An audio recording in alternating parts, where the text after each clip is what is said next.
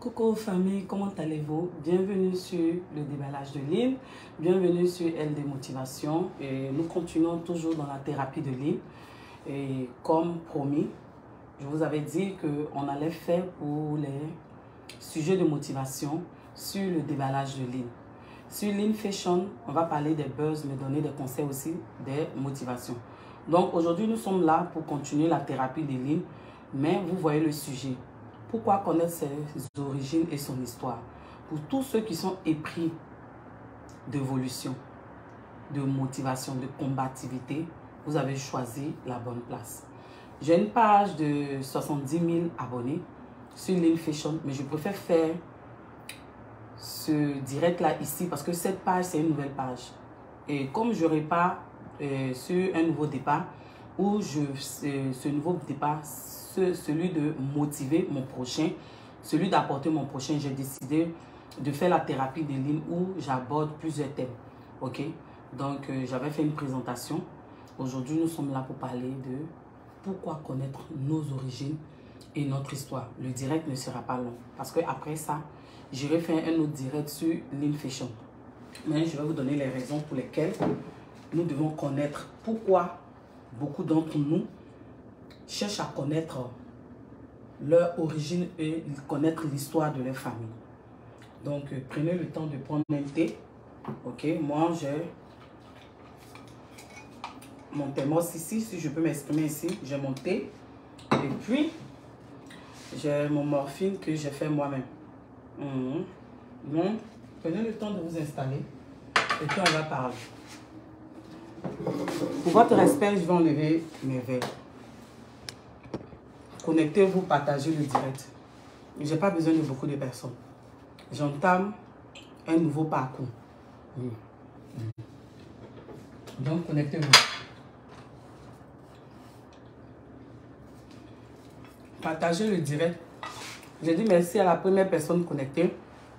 Je peux informer mes abonnés. Mais ils vont prendre le temps de nous suivre ceux qui veulent. Ok. Coucou mes loulous, comment allez-vous? Bienvenue sur le déballage du ligne. Pour ceux qui ne me connaissent pas, moi c'est Linda Daï, LD Motivation. C'est Lynn Fashion sur ma grande page que beaucoup d'hommes me connaissent. Une page de 70 000 abonnés. Mais pourquoi aujourd'hui j'ai décidé de faire ce direct sur cette page? Parce que j'ai décidé de prendre un nouveau départ. Pour ceux qui ne me connaissent pas, au départ, j'étais venu pour la motivation et après, je suis rentrée, pas dans les clashs, mais en donnant mon avis et puis ce qui a suscité des injures, ce qui a suscité des incompréhensions. Comme je connais ma valeur, comme j'ai vécu des choses et que je veux partager avec certaines personnes pour que cela serve aux, autres, pour qu'ils puissent avancer. Donc, j'ai décidé de faire la thérapie des lignes. Oui, oui, j'ai décidé de faire la thérapie des lignes. Pour ceux qui ne savent pas, dernièrement, j'ai été confrontée à une situation, une situation quand même pas aussi grave, mais une situation qui m'a permis de mettre une pause. Et pendant cette pause-là, j'ai demandé de l'aide, je me fais aider. Mais le fait de demander de l'aide, de mettre des choses, une pause, ça a créé beaucoup de choses en moi. J'avais des blessures en moi. J'avais des questions qui n'étaient pas répondues, qui, qui n'avaient pas de réponse. Il y avait des non-dits, oui, je vous explique comme je le disais. Je dis, je suis un enfant des quartiers populaires et je suis né dans une grande famille, mais je n'ai pas eu l'occasion de connaître mon père. Quand je dis connaître mon père, c'est pas que j'ai jamais vu mon père, mais j'ai pas eu l'occasion de vivre avec mon père et de connaître vraiment mes origines et l'histoire de ma famille. Et vous ne pouvez pas comprendre. Cela a créé vraiment des blessures en moi. Et c'est pendant le fait que je me faisais aider que j'ai compris beaucoup de choses. Sur Internet, on voit l'arbre généalogie, d'autres qui font tout pour faire des recherches, même des stars, oui, des stars euh, américaines qui font des recherches pour connaître leur origine. Souvent, on dit que pourquoi ces personnes-là font euh, des recherches pour connaître leur origine pendant qu'elles sont bien, elles sont riches, tout ça. Tout ce qu'on vous montre sur les réseaux sociaux, ce n'est pas vraiment la réalité. Parce que ces personnes que vous, vous enviez, que vous adulez sur les réseaux sociaux, ce sont des personnes qui ont un mal-être en eux. Raison pour laquelle ces personnes cherchent à connaître vraiment leur origine. Parce que ils ont des questions qui n'ont pas de réponse. Ils ont des non-dits dans leur vie. C'est vrai, ils sont stars, mais d'autres connaissent même pas leur histoire, leur origine réelle. Et on a tendance à dire sur, euh, sur, on a tendance à dire que savoir d'où l'on vient, savoir d'où l'on vient aide euh, à savoir où l'on va. Est-ce que vous comprenez? C'est une question qu'on doit se poser. Le fait de savoir d'où tu viens, ça c'est un adage qu'on le dit dans la vie de tous les jours, mais vous ne pouvez pas comprendre l'utilité de cet adage-là. Combien de fois ça s'est porté? Est-ce que vous comprenez? Savoir d'où l'on vient aide à savoir où l'on va. Ça englobe un certain nombre de choses que vous ne pouvez pas comprendre. Est-ce que vous comprenez? Souvent dans notre vie, nous sommes en crise. Nous sommes en crise. On ne comprend pas notre vie. On se demande, mais il y a des choses qui ne marchent pas. On essaie tout. Souvent même, on se fait aider. Souvent même, on a les outils nécessaires pour pouvoir avancer, évoluer. Mais on est bloqué. Mais on ne comprend pas pourquoi on est bloqué. Parce que on a des réponses. On a des blessures en nous. On a des, questions qui sont sans réponse, excusez-moi.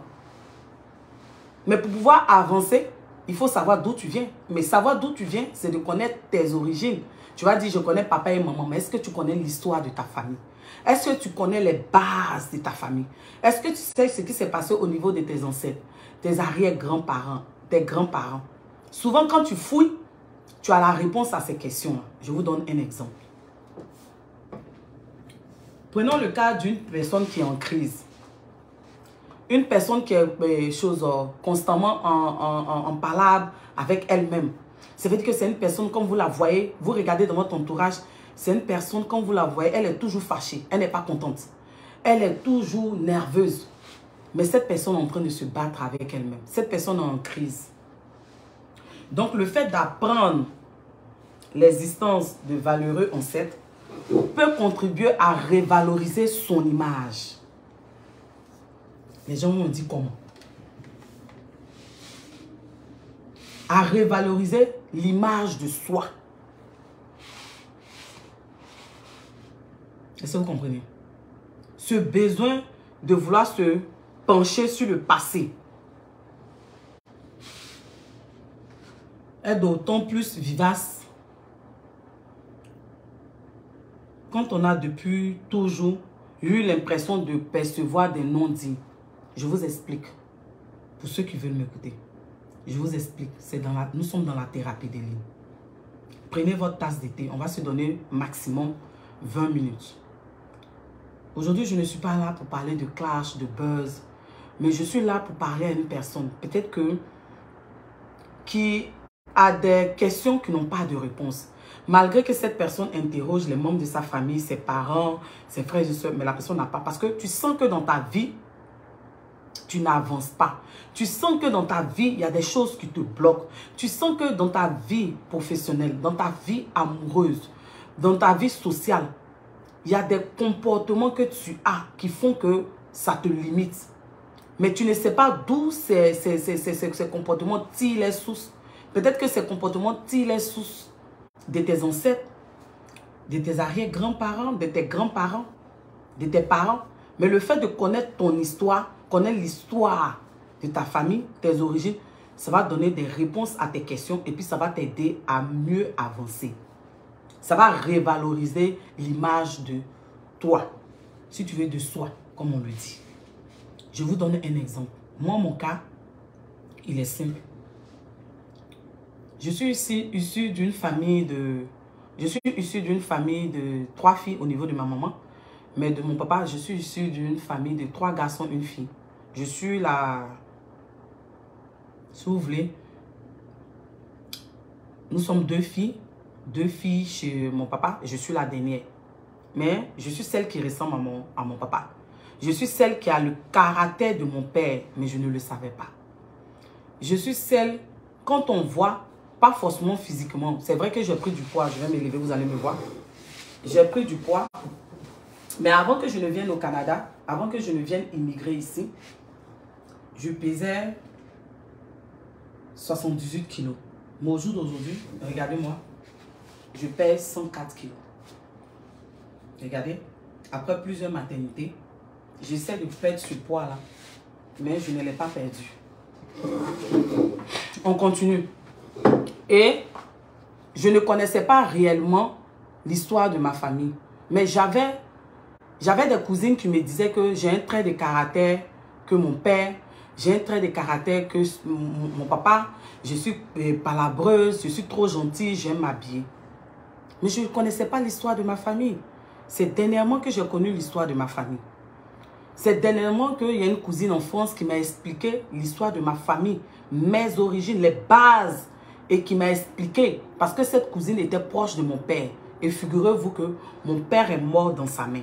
Et figurez-vous que de toute ma vie, j'ai vu trois fois mon papa.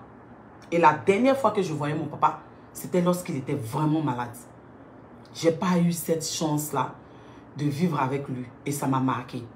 J'ai pas eu cette figure paternelle. J'ai eu un père adoptif après, mais j'ai pas eu cette figure paternelle. Et cela a déteint dans ma, dans, mes, dans, dans ma relation. Oui, dans mon mariage. Parce que l'autorité, c'est quelque chose que j'ai du mal à m'y faire avec. Est-ce que vous comprenez? Je ne veux pas accuser mes parents. Ce n'est pas d'accuser mes parents. Mais j'ai cherché à comprendre. Parce que ma cousine m'a dit que je suis un peu comme mon père. J'ai du caractère.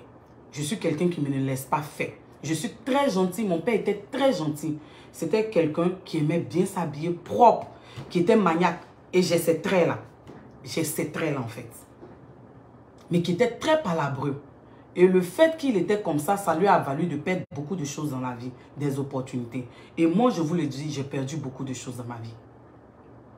Donc, le fait de savoir d'où on vient peut nous emmener à répondre à des questions, à revaloriser son image, à répondre à des questions qui sont sans réponse. J'ai même appris que mon grand-père et ma grand-mère étaient cousins, quoi. Germain, tout ça. Mais est-ce que vous voyez un peu l'impact, l'impact que ça Ça veut dire que mon grand-père et ma grand-mère étaient cousins. Est-ce que vous comprenez un peu?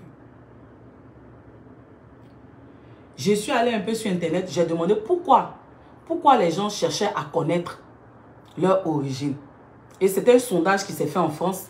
Beaucoup cherchaient à connaître euh, leur origine non seulement pour valoriser leur ancêtre, mais pour permettre à leurs enfants de connaître l'histoire de leur famille, de savoir d'où ils venaient, et d'autres pour répondre à des non-dits par rapport à ce qu'ils vivent dans leur vie, par rapport à des crises, des comportements. Et j'ai eu un témoignage d'un monsieur qui travaillait dans une banque. Il était l'adjoint au directeur, mais il y a une histoire qui s'est passée, et puis ce dernier-là, il a démissionné. Et lorsqu'il a démissionné, le directeur qui était sous sa, euh, euh, le directeur qui était avant lui a démissionné. Donc, automatiquement, celui qui était derrière a pris la place du directeur. Ça veut dire que c'était un bosseur. C'était quelqu'un qui, qui bossait. Est-ce que vous comprenez? Il bossait, il étudiait, tout. Mais, à chaque fois qu'il est proche du but, il arrête. Et ce n'était pas la première fois. Et quand ce dernier a raté cette occasion pour une quatrième fois, il a commencé à savoir ce qui se passe. Et figurez-vous, on dit que son grand-père et son père étaient comme ça. Ça veut dire qu'ils commençaient quelque chose. Et lorsqu'ils étaient proches du but, ils abandonnaient. Parce que c'est des gens qui avaient un caractère, qui ne voulaient pas qu'on les commande. Qui ne voulaient pas se soumettre à l'autorité. Et moi, ça m'a beaucoup fait défaut dans mes relations et dans ma relation. Je veux toujours avoir le dessus. Une femme doit être soumise. Une femme ne doit pas être mouton, mais elle doit donner la place de l'homme. Ça m'a manqué. Et mon caractère, je le tire. De mon grand-père et de, non, de mon père. Est-ce que vous comprenez? Et c'est dernièrement, quand je me suis fait aider, j'ai compris beaucoup de choses, beaucoup de blessures. Je n'ai pas eu cette figure paternelle. Mais ça ne fait pas de moi une ratée dans la société. Est-ce que vous comprenez? ça ne fait pas de moi une ratée dans la société. Donc, vous pouvez chercher à connaître vos origines, l'histoire de votre famille. Ça va faire toute la différence. Peut-être que dans votre famille, ils ont dit que personne n'allait se marier. Peut-être que c'était un sort, c'était un pacte que vos grands-parents ont signé. Est-ce que vous comprenez? Et le fait de savoir, ça va vous permettre, vous, de pouvoir orienter vos combats et de résoudre. Peut-être que dans votre famille, on dit personne ne va réussir, ne va construire, ne va travailler, ne va avoir une maison. Mais si vous ne savez pas tout ça, comment vous allez orienter? Vous allez orienter vos combats. Pour ceux qui sont chrétiens, comment vous allez prier pour briser, comme on le dit, les liens ancestraux? Pour ne pas commettre la même erreur que vos grands-parents, vos, ancêtres. Peut-être que dans votre euh, chose, famille, il y a un esprit de sirène, il y a un esprit de mari de nu qui vous empêche de vous marier. Ça veut dire que vous croisez des hommes qui sont prêts à vous marier. Mais arrivé un moment qu'ils ne vont pas au, bout. Mais ce qui est plus étonnant, c'est que la plupart d'entre nous, on ne connaît pas nos origines. Hein. Ce n'est pas le fait de connaître papa et puis maman. On ne sait même pas d'où on vient. Quel est le village, quelle est la racine. Il y, a un, il, y a, un arbre généalogique qu'on fait sur Internet gratuitement qui te permet de connaître tes racines. C'est pour cela que vous voyez les, les stars américaines. Comme Michael Jackson. Il a tout fait et il a retrouvé ses origines en Côte d'Ivoire, à Krenjabo, où il s'est déplacé. Mais le fait que ça fait, et, il a fait ça, ça a répondu à des questions. Peut-être qu'il avait un mal-être en lui. Michael Jackson, c'était quelqu'un qui avait l'argent. Mais on disait qu'il était souvent mal dans sa peau, tout ça. On a vu que Michael Jackson, c'était quelqu'un qui, qui, qui, qui, qui s'était, comme on le dit, décapé la peau, tout ça. Mais très souvent, on agit comme ça parce qu'il y a un mal-être en nous. Parce que on n'aime pas, on a la perte d'estime de nous. Mais c'est à partir du fait de connaître nos origines, de connaître notre histoire, de connaître l'histoire de notre famille, c'est ce qui va nous permettre de pouvoir révaloriser notre image, de pouvoir améliorer, contribuer à l'évolution de notre futur. Est-ce que vous comprenez? Moi, ça m'a beaucoup aidé. Parce que cette cousine, elle était très proche de mon père. Elle m'a dit que mon père était maniaque. Mon père aimait la propriété. Mon père, il peut acheter un, un, vêtement blanc. Ça va faire un an, mais le vêtement reste blanc. Est-ce que vous comprenez? Moi, je suis comme ça, je suis maniaque. Et même quand j'étais euh, à la cité universitaire, ma chambre été élue la, plus, la chambre la plus belle et propre de mon palier. Mais souvent, j'indisposais mes camarades avec. Parce que quand tu arrives, tu ne places pas les choses où c'est... Je vais replacer. Quand mes camarades sont morts, je commence à balayer. Mais d'autres même sont assis, je les indisposais. Au point où ma maman disait souvent à mes camarades, excusez-la, elle ne fait pas exprès. Elle a pris de son père. Elle le disait, mais ma cousine m'a expliqué textuellement comment il était. Il était palabreux, il était gentil, c'était un homme qui avait un grand cœur. Je suis comme ça. Mais là, avec le temps, je suis en train de, je suis en train de choses, comment on appelle, m'améliorer. Mais il a fallu que je retourne dans mon passé, dans mes origines, dans l'histoire, de connaître l'histoire réelle. On m'a même dit que mon grand-père faisait partie des fondateurs de notre village. Et il y a certaines choses qui se sont passées. Je ne vais pas rentrer dans les détails avec vous. Mais le fait de savoir, ça fait toute la différence. Est-ce que vous comprenez? Et toi, quelle est ton histoire? Quelle est ton origine? Est-ce que tu connais réellement l'histoire de ta famille? Est-ce que tu connais réellement tes origines? Est-ce que tu sais d'où tu viens? Parce que savoir d'où on vient, ça nous permet de savoir où on va. Si tu ne sais pas que il y a une malédiction sur votre famille, où on dit personne ne va se marier, tu es là, tu tournes en rond. Tu tournes en rond. Un homme vient. Oh, au départ, il est ceci. Il est prêt à te marier. Il est prêt à te prendre en charge. Il est prêt à tout faire. Mais arrivé au mariage, il renonce. Mais si tu ne sais pas tout ça, comment tu vas faire? Est-ce que tu sais qu'il y a une malédiction qui dit que dans votre famille, personne ne va réussir? Personne ne va construire. Tu ne sais pas. Il y a beaucoup qui cherchent à savoir leur origine pour connaître l'histoire de leurs ancêtres. Pour voir, pour savoir qui est leur ancêtre, comment ces derniers se sont battus, tout ça. Et puis aussi, transmettre ça à leurs enfants. Mais nous, on ne connaît pas nos origines, on ne connaît pas notre histoire, mais c'est nous qui connaissons l'histoire des stars, des stars américaines, on connaît les biographies. On sait où ils sont nés, d'où ils viennent, leur famille, où ils sont positionnés. Mais vous ne pensez pas que le fait de chercher vos origines.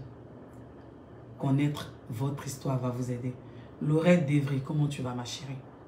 Nous sommes dans la thérapie des lignes. Je me pose. Je me pose pour pouvoir mieux sauter. Je vous ai dit, c'est la motivation épicée. C'est la motivation à la LD, Linda Daï. Oui, c'est mon nom. Linda Daï. Avant de connaître les origines ou même l'histoire, ou même l'histoire d'une star américaine, cherche à connaître ton histoire, tes origines. Ce n'est pas le fait de vivre avec papa et maman. Il y a d'autres même qui sont avec papa maman, qui connaissent même pas leur village, qui ne savent même pas où leur village est situé, dans quel canton. Souvent, il vous arrive de croiser vos cousins et puis vous faites des enfants avec eux. Et puis ça entraîne d'autres choses. C'est important. Quand vous voyez le blanc ou l'américain chercher ses origines, il veut répondre à des questions. Il a tout, mais il n'est pas heureux. Il a tout, mais il a quelque chose, un comportement en lui, une attitude qui fait que il ne peut pas être épanoui. Ce n'est pas le fait d'être riche. Il y a des gens qui ne sont pas riches, mais qui sont plus heureux que ces stars qui ont l'argent. Moi, ça m'a manqué. Connaître réellement mon père, ça m'a manqué. Connaître l'histoire, mes origines m'ont manqué, m'ont fait défaut dans ma vie. Ça m'a fait perdre beaucoup de choses, des opportunités. Et toi, jusqu'à quand vas-tu rester ignorant à tes origines? Madeleine, comment tu vas? Jusqu'à quand? C'est bon d'écouter les clashs. C'est bon d'écouter les bérets. C'est bon de rire. Mais il y a un travail qui doit, faire, doit être fait au plus profond de nous. Quand ton intérieur est bon, comme je le dis, quel que soit, quel que soit, quand ton intérieur est bon, ça reflète sur ton extérieur. Et puis tu peux contaminer, éclabousser cet intérieur qui est bon sur tes proches. Je vous demande de faire ce travail. Faites ce travail, ça va vous aider. Faites ce travail, ça va vous aider.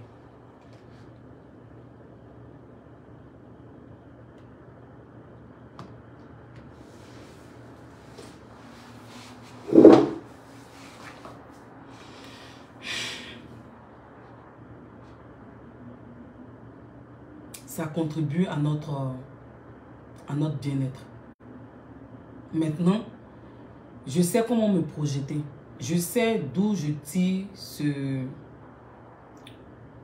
ce, caractère qui fait que je, je, je, ne, dans mes relations, je n'aime pas me soumettre à l'autorité de l'homme. Je tiens ça de mon père. Parce qu'il avait ce caractère trempé, très fort. Je l'ai hérité, mais moi je suis une femme. On ne me demande pas d'être mouton. On ne te demande pas d'être mouton.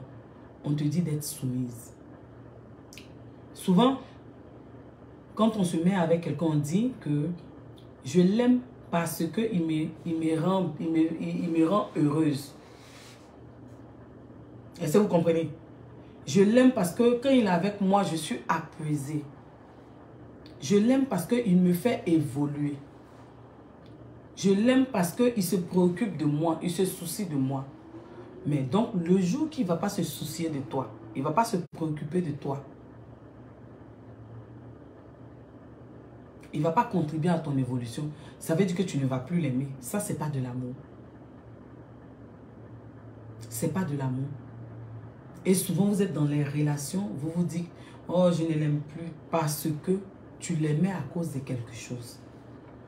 Pourtant, le Dieu qui nous a créés, comme on le dit dans la Bible, on dit, Dieu a tant aimé le monde qu'il a donné son Fils unique, afin que quiconque croit en lui ne périsse point, mais qu'il ait la vie éternelle. Ça veut dire que Dieu a donné ce qu'il a de plus précieux, son Fils Jésus, afin que nous, pécheurs, qui croyons en lui, nous soyons sauvés. C'est-à-dire qu'il a donné de ce qui est précieux pour notre bien-être. Il a fait par amour pour nous. Donc quand tu rentres dans une relation, tu rentres pour faire du bien à la personne qui est là. Tu te soucies d'abord du bien-être de cette personne-là. C'est ce qu'on appelle l'amour. Si tu n'as pas compris ça, un, tu vas te mettre dans une relation. Et puis, pour de mauvaises raisons, et puis, te, te soumettre. C'est-à-dire être soumise en tant que femme, tu ne vas pas le faire. Et ça va créer des problèmes dans ta relation. Ça va créer des problèmes dans ta, dans ta relation. Et puis, toi-même, tu seras malheureuse et ce dernier sera malheureux. Et puis, souvent, tu vas accuser les sorciers de ta vie. Arrêtons d'accuser. Arrêtons d'accuser les autres. Cherchons plutôt à regarder dans notre rétroviseur. C'est important de regarder dans le rétroviseur parce que même quand tu conduis une voiture, tu regardes dans le rétroviseur pour voir s'il n'y a pas des pour voir les voitures qui sont à gauche et à droite pour pouvoir mieux avancer. Est-ce que vous comprenez ce que je suis en train de dire? Visualisez l'image. Ça veut dire que quand tu conduis une voiture, on te demande de regarder souvent ce qui se passe derrière toi, à côté de toi, à gauche, à droite et derrière. Mais on ne te dit pas de le faire pour, euh, pour, le plaisir. On te dit pour que tu, peux, tu puisses mieux conduire et avancer et arriver à bon port. C'est même chose avec connaître tes origines et puis l'histoire de ta famille. Ça veut dire que le fait de savoir ce qui s'est réellement passé dans ta famille, connaître tes origines, d'où tu viens. Qu'est-ce qui se passe dans ta famille réelle Quelle est la malédiction Quels sont les pactes que tes parents, tes arrière-grands-parents, tes ancêtres ont, fait Pour que toi, dans ta vie, là, tu puisses non seulement les connaître, et puis ça va te permettre de mieux sauter, mieux avancer et répondre à des questions. Tu en as besoin. Pour d'autres qui vont voir cette vidéo, oh, c'est pas important. C'est important, je vous le dis. Fifi Nguessan, comment tu vas? Fatem Koulibaly, comment tu vas ma chérie? C'est important. Souvent, ce qui se passe dans notre vie, essayons de mettre ça dans la vie de tous les jours. Tu ne peux pas conduire une voiture et puis aller tout droit sans regarder, sans savoir ce qui se passe à gauche et puis à droite. Visualisez cela, c'est très important, je vous le dis. Ça m'a manqué, ça m'a fait perdre des opportunités.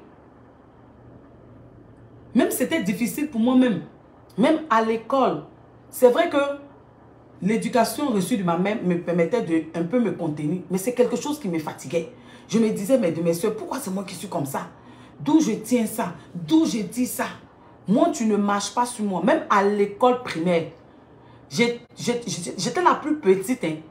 Mais, nom des bavards, mon nom était toujours... Parce que tu dis 1, moi je dis 10. On me donnait toujours rendez-vous derrière l'église au caca. Parce que tu vas dire 1, moi je vais dire 10. Et puis ce que je vais dire là, ça va te... C'est vrai que ça va tellement te pénétrer jusqu'au jour d'aujourd'hui. Et je suis quelqu'un, je n'ai pas peur. J'aime pas qu'on me commande. Mais ce n'est pas dans toutes les situations, les aspects de ta vie que tu vas emmener ça. C'est vrai, on dit de ne pas te laisser influencer. Mais souvent, te laisser influencer négativement. Ça a son côté positif où tu ne te laisses pas faire. Mais ce n'est pas dans tout. Surtout quand tu viens chez les Blancs, ici. Ici, les gens n'aiment pas les gens qui sont par la Les gens souvent n'aiment pas trop les gens qui sont trop directs, trop franches. Moi, j'étais tellement directe, franche et crue que ça faisait que souvent, les gens ne m'aimaient pas. Mais c'est après quand les gens me découvrent, ils voient que je suis une belle personne, mais j'ai ce caractère trempé. Même quand tu me vois, tu sens le caractère. Même mes responsables le disent. Moi, ici, chez les Blancs, moi, directeur comme truc, je te dis, quand tu me fais quelque chose, c'est de là à là. Mais j'ai mis beaucoup d'eau dans mon vin. Mais ce caractère, je le tiens de mon père. Mais il a fallu que je retourne à mes origines. Je retourne à l'histoire de ma famille. Et j'ai commencé à travailler. C'est pas tout de suite que ça va partir. Mais j'ai commencé à, à, travailler parce qu'on dit qui veut avancer ménage sa monture. Est-ce que vous comprenez? Donc, au lieu de connaître l'histoire des stars de A à Z, cherchez à connaître vos origines, votre histoire. C'est moi qui vous le dis. C'est très important. Ça va faire toute la différence. Ne restons pas toujours dans, dans, dans, les, dans les petites choses. Est-ce que vous comprenez?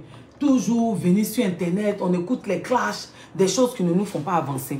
Il a fallu d'un événement dans ma vie en novembre pour que je retourne en arrière, pour que je regarde dans le rétroviseur de ma vie, pour que je regarde dans le rétroviseur de la voiture. C'est-à-dire que de ma vie comme dans la voiture.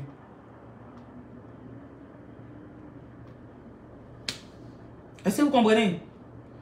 On dit, d'après une enquête en 2010, datant de 2010, on dit que plus de 6 Français s'intéressaient à l'arbre généalogique de leur famille pour entreprendre des recherches sur leur famille, sur le nom de leur famille. Et beaucoup le faisaient parce qu'ils avaient un mal-être, ils vivaient une crise, ils avaient des comportements dans leur vie. Ils avaient plusieurs aspects de leur vie qui ne marchaient pas au plan euh, euh, euh professionnelles et au plan social. Mais en faisant ça, ils répondaient à beaucoup de questions. Et ils le faisaient aussi pour transmettre l'histoire de leur famille à leurs enfants et pour permettre à leurs enfants non seulement de connaître leurs origines, l'histoire de leur famille, pour que eux-mêmes dans la vie, ils puissent mieux avancer. Donc, euh, aujourd'hui, j'étais en train de répondre à ces questions. Il n'est pas tard pour mieux faire. Dans la motivation, on parle de développement personnel. Vous voyez les coachs là, ceux qui coachent les personnes là. Souvent, on a l'impression que la personne a, ses, ses, symptômes. Mais quand on va en profondeur, on se rend compte qu'il y a plusieurs symptômes. C'est comme une voiture. Tu vois que l'huile, l'huile, tu dois changer l'huile très souvent. Mais quand tu arrives, tu vois qu'il y a d'autres pannes. C'est un peu comme l'être humain. Je savais que j'avais du mal à respecter l'autorité. Et surtout dans la relation, dans une relation sentimentale. Et je savais que j'avais un caractère trempé. Souvent, on me disait que j'avais un caractère d'homme. Que je suis une battante, je me bats. Mais je ne savais pas de qui j'avais hérité ce comportement. Mais en même temps, je ne connaissais pas l'histoire de ma famille. Je ne savais pas que mon grand-père et ma grand-mère étaient cousins. Est-ce que vous comprenez? Je ne savais pas qu'il y avait des alliances. Et que mon grand-père faisait partie de ceux qui avaient bâti le village. Il y a d'autres choses, je ne vais pas rentrer dedans parce que c'est d'ordre familial. Mais le fait de connaître, ça a fait toute la différence. Et toi? Je réponds à cette question. Pourquoi connaître ses origines? Et pourquoi connaître euh, l'histoire de sa famille Savoir d'où on vient, ça t'aide à savoir où tu vas. Ça contribue à ton épanouissement. Fanny Carao, comment tu vas? Ça contribue à ton épanouissement ça contribue à ton bien-être. Ça contribue à répondre à des questions dans ta vie, des non-dits. Ça te permet de savoir d'où tu tires ce caractère-là. Ça te permet de savoir qui étaient tes parents, quelles sont les alliances, les malédictions? Comment faire pour ceux qui sont chrétiens? Comment tu vas? C'est pas grave, Fanny Caro. Après on va sur l'île Fashion pour faire un direct par rapport au buzz. Mais je vais vous dire quelque chose. Je vous ai dit que je vais parler de buzz, mais je ne rentre pas comme avant. Là. Non. Donc, quand on coupe ici, on va sur fashion. Donc, ça te permet de pouvoir mieux avancer. C'est comme ce monsieur-là qui accomplissait des choses lorsqu'il était, lorsqu'il était à la fin, où il était proche du but, il abandonnait tout. Parce que son grand-père était comme ça. Son papa était comme ça. Et quand il a su ça, ce monsieur-là, comme il était chrétien, il a su prier, il a su prendre un coach, tout ça, en développement personnel, tout ça. Aujourd'hui, le monsieur est la tête d'une entreprise. Il a quitté, mais lui-même, il a créé sa propre entreprise. Ces grands hommes que vous voyez, ces stars que vous voyez, quand vous les voyez chercher leur origine, ce sont des personnes qui se font accompagner. Si tu n'as pas les moyens de te faire accompagner, au moins va faire des recherches. Va, va auprès des personnes, des pionniers de ta famille pour comprendre beaucoup de choses. Va prendre des conseils. Est-ce que vous comprenez? Donc, euh, dans la thérapie des lignes, le fait de connaître mes origines, l'histoire de ma famille, a fait toute la différence. Et je suis dans mon processus. Les gens diront que non, Lynn est folle, Lynn est truc.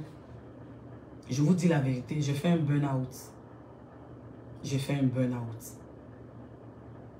Ça, c'est la, la vérité. Qu'est-ce que c'est que le burn-out? On va parler de ça, mais c'est l'épuisement physique et mental. On va faire un sujet dessus. Donc, la prochaine fois, sur le déballage de ligne, qu'est-ce qu'un burn-out? Dans la thérapie de ligne, qu'est-ce qu'un burn-out? Et je vais vous expliquer où est-ce que j'ai fait ce burn-out, où est-ce que je suis aujourd'hui? Est-ce que vous comprenez? Donc, c'est très important. Connaître ses origines, l'histoire de sa famille, ça fait toute la différence. Ça te permet de revaloriser l'image de soi. Est-ce que vous comprenez?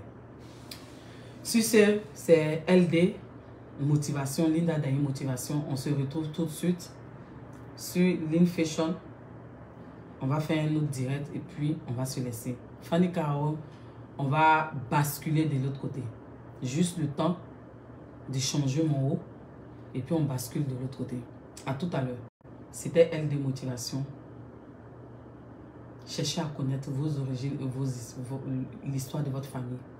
Ne cherchez pas à connaître seulement les origines et l'histoire de la vie des stars.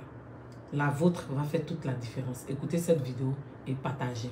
Sur ce, à tout à l'heure. On se retrouve dans deux minutes. Juste le temps d'enlever ce haut sur l'Infashion. À tout à l'heure. Bisous, Fanny Carao. Bisous à tous ceux qui étaient connectés.